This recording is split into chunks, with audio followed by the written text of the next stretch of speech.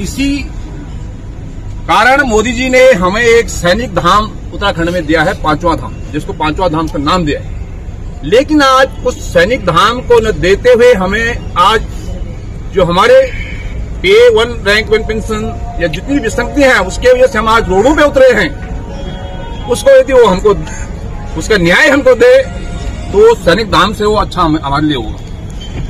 आज हम सरकार से अपने हक की मांग के लिए यहाँ पे बैठे हुए हैं। बीस तारीख से बैठ रखे हम यहाँ पे।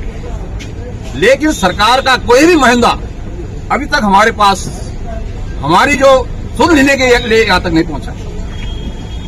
हमारी जो सबसे पहली मांग है, क्योंकि जब एक ये 2006 में एमएसपी एमएसपी सरकार ने लागू की थी तो उसमें भी हमें, हमारे साथ जवान और जेसोस के साथ धोखा किया गया। यदि सियाचिन ग्लेशियर माइनस पचास डिग्री में जवान बाहर मोर्चा के अंदर होता है और अफसर हट के अंदर बुखारी सेकता है, लेकिन वहाँ पे अभी हमको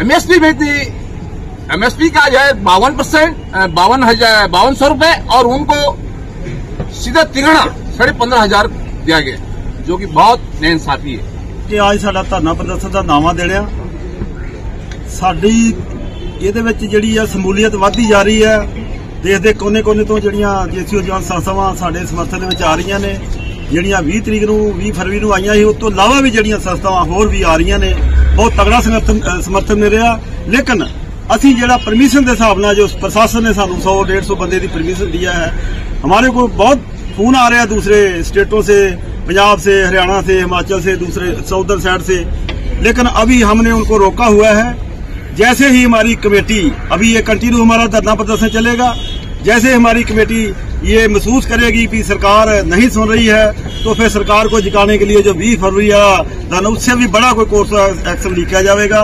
वो तो समय के मुताबिक ही बताया जाएगा। बाकी जो हमारी लड़ाई है इक्वल एमएसपी की है इक्वल डिसेबिलिटी पेंशन की है इक्वल पे फैक्टर की है और ये जेड़े ठीक है आ, सरकार ने दिया है कुछ लोग बोल रहे हैं कि सरकार ने तो वन रिक्वायरमेंट दे दी आप लोगों को एरिया मिल गया सुप्रीम कोर्ट ने भी बता दिया कि इनको एरिया जल्द एक साथ देना चाहिए हमारे को एरिया एक साथ का कोई मेन मुद्दा नहीं है। हमारा मुद्दा है कि जो हमारे को ओ आर पी वन में भी धोखा हुआ ओ आर पी टू में भी, उसका कारण है कि हमारा इक्वल एमएसपी नहीं है, हमारा इक्वल पे फैक्टर नहीं है। क्योंकि सरकारों के साथ मिलके अधिकारियों ने जो सर्विंग अधिकारी है, उन्होंने अपना सतवा पे फैक्टर में 2.81 2.67 तो लेके 2.81 तक कराया। लेकिन हमारा जो जेसीओ जवान के लिए 2.57 सर्विंग वालों के लिए बता रहा हूँ, लेकिन रिटायर वालों के लिए 2.57 ही था। जिसके लिए हमारे अधिकारी ये गुमराह करते रहे भी ये जो संघर्ष कमेटी है या जेसीओ जवान संस्था है गुमराह कर रही है जेसीओ जवानों को। हमारे को टू पॉइंट फाइव सेवन मिला है। हम पहले ही बोलते थे कि ठीक है जेडे रिटायर्ड अधिकारी है उनको भी टू पॉइंट फाइव सेवन मिला था। लेकिन छात्र दिमाग से पिछले दरवाजे से हमारे सर्विंग जेडे अधिकारी है उन्होंने टू पॉइंट एट वन लेके उनको पता था जो, हमारे रिटायर्ड अधिकारी जो है उनको पता था कि जुलाई उन्नीस में जब रिविजन होनी है हमारी भी जो है उनके बराबर हो जानी है। क्योंकि ओआरपी का मतलब ही है, जो आज बंदा पेंशन आ रहा है, पुराने वाले भी उनके बराबर हो जाएगी। लेकिन हमारे जेसीओ जवानों के साथ उल्टा हो गया। जिनके लिए एक्चुअली वन रेक वन थी जो हमारे जनरल साहब स्टेजों से बोलते हैं कि मेरे जवान पैंतीस साल वाले जो चालीस साल में आ जाते हैं उनके लिए वन रिक्वायरमेंट है।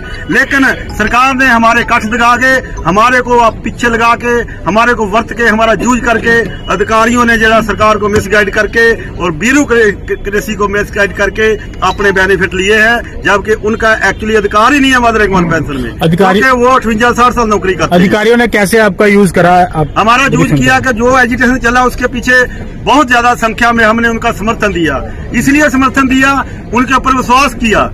विश्वास करके, क्योंकि हमारे जनरल जो हमारे लिए संघर्ष कर रहे हैं, हम उनके पीछे तन मन धन से बहुत बड़ी संख्या में एजुटेशन चली, बहुत लंबी चली।